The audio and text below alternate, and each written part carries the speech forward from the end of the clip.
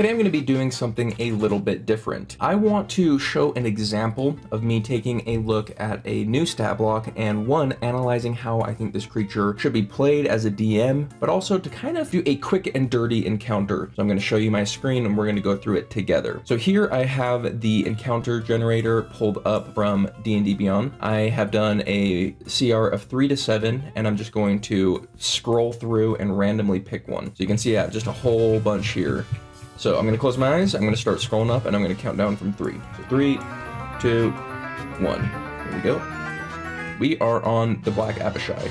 So starting off, when I take a look at a stat block, I want to look at their stat curve. Now this is an idea that I've gotten from the Monsters Know, who, if you are interested in what I do in this video, you're gonna love what the Monsters Know do. It's a blog where he analyzes the stat blocks and kind of tells you about how the creature's tactics are going to play out. So looking at the Black Abishai's spread, we look at the highest first. In this case, it's a combination of dexterity and wisdom, slightly leaning towards dexterity, but it's that odd amount. So, you know, it's 17 instead of 16, doesn't change anything mechanically, but it does just tell us a little bit of information. Taking a look at the next set, we have strength and constitution, and then we have intelligence near the bottom and charisma at the dead last. So I'll just kind of go through each and tell you kind of what they tell me. So strength tells me they are confident in hitting people, simple as that. Dexterity is a wild card. It's kind of flexible. You have to read the rest of the stat block to know what dexterity is going to do, because sometimes it's going to say, hey, this is a ranged character. Sometimes it's going to say it's hit and run, or sometimes it's just a pseudo strength. So dex is the one I kind of ignore until later. Constitution tells me how confident they are in staying in the fight. Intelligence, besides telling me that they're probably a wizard, it also tells me how they go about preparing. Intelligent creatures take time to prep.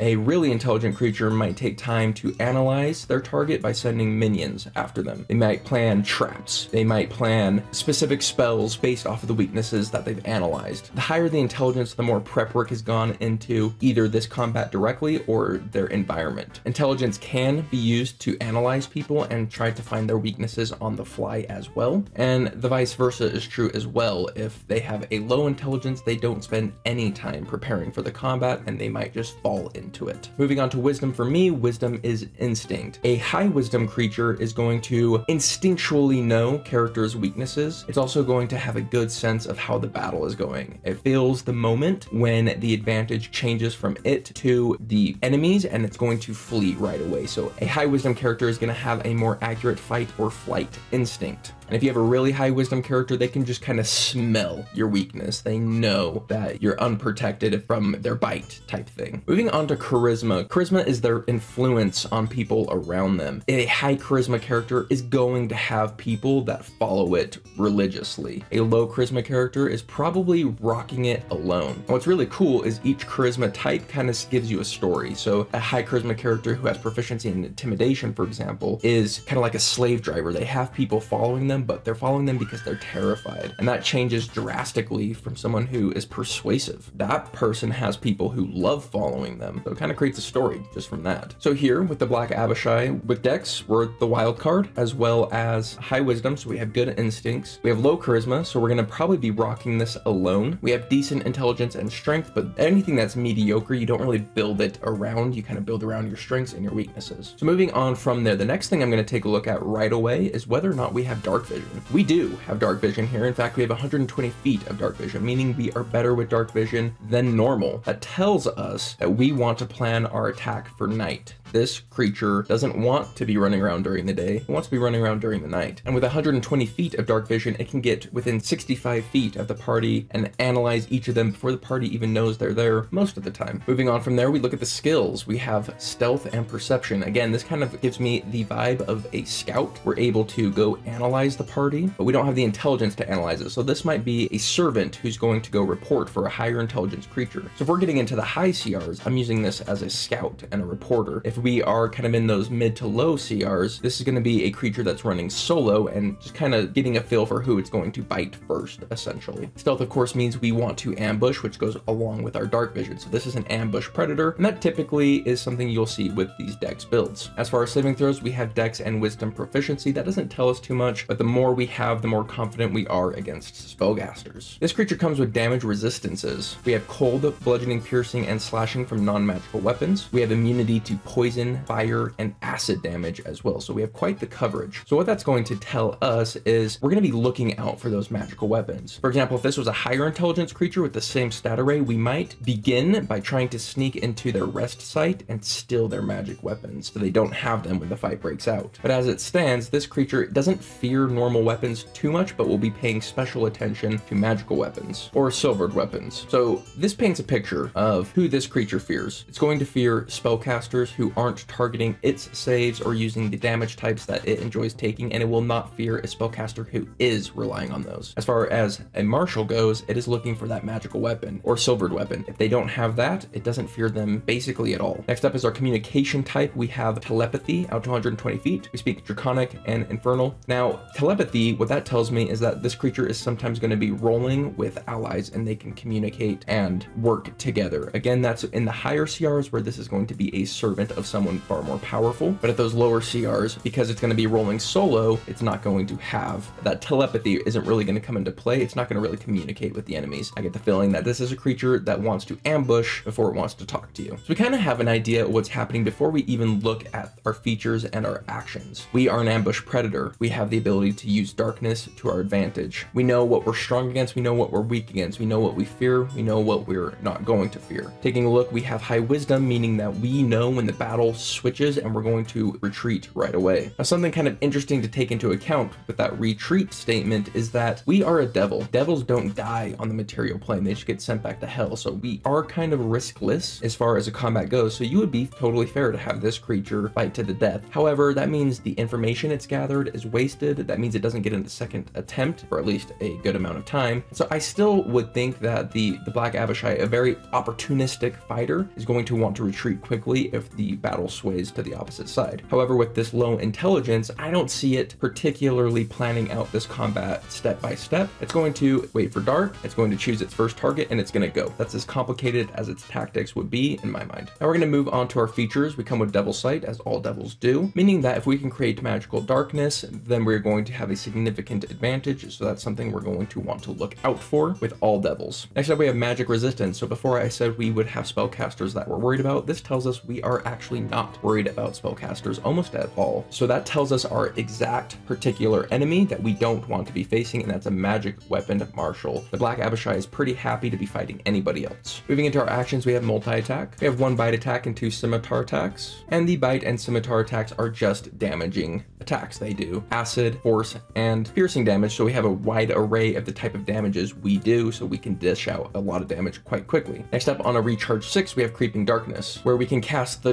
darkness spell within 120 feet of ourselves. We're gonna want to cast that on our own scimitar probably, and just have it surrounding us. That way our biggest enemy, those magic weapon martials, are gonna have a much harder time hitting us. And finally, as a bonus action, we can take the hide action. So as darkness is gonna be a big piece of us, magical darkness, the darkness we attack in, and then we can have a bonus action hide. So we are gonna use our turn to choose a target, hit them hard, and then retreat into darkness again and again and again and again. What our wisdom tells us is when they destroy our darkness, when they create a light environment, it's time to go. It's time to do a full retreat and hopefully get into darkness where we can teleport away. That's what the wisdom tells us. So probably levels seven and below, I'm using this as a single enemy encounter. Higher, this can start being an ambush squad that uses the darkness and the, the telepathy to work together to really hit the party hard. So the Black Abishai can really be used from tiers two and above, which tells me for a tier one encounter, it needs to be a roleplay encounter, show this creature beforehand,